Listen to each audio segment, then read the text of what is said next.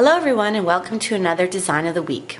I hope everyone had a great summer and is ready for back to school. I don't know about you other moms out there, but I'm ready for the school season. This week's design I've entitled Ladybug Picnic. It's a very fun and cute design to do. I've incorporated some layering technique and we're also going to be using a little bit of the Miji pens. So please follow along with me and let's get started. The first step we're going to do is paint our nail two coats of this OPI gargantuan green grape and let that dry really good. You don't have to use this color. If you have a nice light green color that you'd like to use, by all means go ahead. But I wanted something a little bit light in the background so that our ladybugs would really stand out. So any of your favorite green colors will do. We're going to be using this week plate from the T-Series T41. And the design we're going to be focusing on for the background are these flowers right here. So we're gonna stamp those in white first of all on the nail. Grab your white stamping polish. So cover the design with your white polish like this. Scrape, roll, check it, and I'm gonna start down at the bottom of the nail and just go right across. Okay, so as you can see, I'll just move my plate there. Uh, it only covered part of my nail because the design wasn't super long. So if you have long nails like me, just go over it one more time and stamp the part that doesn't have a design on it. Depending on the size of your nail will depend on how many times you have to do this stamp. So I'm gonna paint it again. Scrape, roll, and then I'm just gonna line up where I left off there and just go right over top of the nail to get the other part. You wanna cover the whole nail with the white flowers for our background. Okay, make sure you're cleaning with acetone polish remover in between each stamp. Make sure you're cleaning your stamper and anything that gets on your scraper. Our next step we're going to be doing our ladybug and I'm using the plate M30 and it's the one that has all sorts of animals on it. I'm going to focus on the ladybug right here. I hope it's not too much glare for you. I've tried to cover up my big plate here. You're going to take your black stamping polish, okay, and we want to sporadically put the ladybugs on. We don't want it to be too busy on the nail, so you can choose how many you want to put on. So we're going to put the black polish over our ladybug like that. Scrape. I'm going to use the small end of my stamper so I can place it a little better. I'm going to start down at the bottom of my nail and I'm going to go over in here in the corner kind of on an angle. Okay, just like that. And I've chosen to do about three ladybugs per nail. And of course, to make it easier and faster when you're doing your own nails, I would do each step all in a row. So paint your nails green and then do all the white flowers and then do your ladybugs. It's just easier than doing it each nail at a time. Okay, so I'm gonna paint my second ladybug and roll my stamper, check it, and then I'm going to go over here, kind of in the middle of the nail, as you can see, right there. Okay?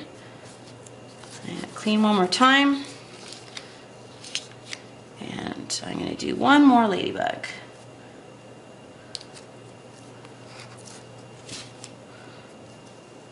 Okay. And I'm going to put him right up in the corner at the tip of my nail there. Okay, so as you can see, I've got one, two, three ladybugs. So as I said, we're kind of layering our design. So we're working from the background up. So we've got our great green color, then we've got our white flowers going on, and now we've got our ladybugs. The next step is to add some color to this, and that's where the Miji pens come in. This is what they look like, and there's a whole bunch of different colors that you can get. This is just regular nail polish, and I have used them in other videos that I've done. The great things about these is it is regular nail polish that you can paint your nails with, with just a regular brush. Okay, and then we've got this great tip where you can draw lines, you can squeeze out little dots, and I'm gonna show you what we're gonna use it for today. When you're ready to squeeze your Miji pen, I always do a little bit on a paper towel to start off with in case there's air bubbles, because what happens is you'll go to squeeze it on your nail and you get a big huge blob and it'll wreck your design. So before you start, squeeze a little bit on a paper towel, which I'm doing here off to the side. Okay, and you're ready to go. Now, how this works when we've already stamped a design is we're just gonna lightly squeeze and tap Okay, and I'm not gonna go over the black dots of the ladybug because we don't wanna cover those. So I'm just gonna kind of go around them like this. And I'm barely squeezing out any of the color because you don't want too much of a blob on your nail. Okay, and as you get used to using these, you'll find what works for you. But you really don't need a lot. You just want to get a little color on the nail. And I find when we do this, it actually makes it look like a sticker and a little bit 3D. And I think it gives a really nice effect. So as you can see, I'm just lightly squeezing and tapping all on the inside of my stamp here. And this can work for any outline stamp. Okay, just like that. Now, when you're done with your Miji pen, what you're gonna do is to take a little bit of nail polish remover and just clean the tip and that way it'll be good for the next time you use it. And put the lid on pretty good. But we're not done yet. We're doing our last step now and we're gonna use the yellow. So same thing, make sure you squeeze it to start with on a paper towel to make sure you don't get any blobs. And we're actually gonna dot the middle of our white flowers here, make them look like daisies. So you're just gonna squeeze the amount you want for how big of a dot you want. And I'm not typically doing all of them, I'm just doing some of them to add a little bit of color. Maybe this one here. I think that's good. Now I could do that one and I could do that one, but I think I'm just gonna leave it as is because I'm happy with how that looks. But you can judge and figure out how many you would like to do. And then make sure you're cleaning that off with some nail polish remover on the tip there. Okay, and seal it really good.